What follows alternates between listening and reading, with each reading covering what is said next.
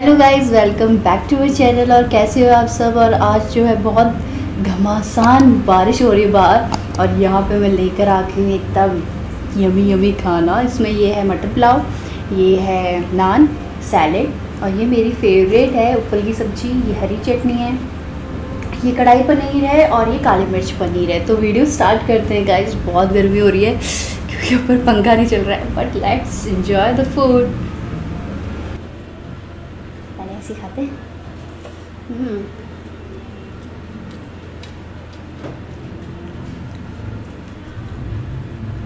नान के साथ। हम्म।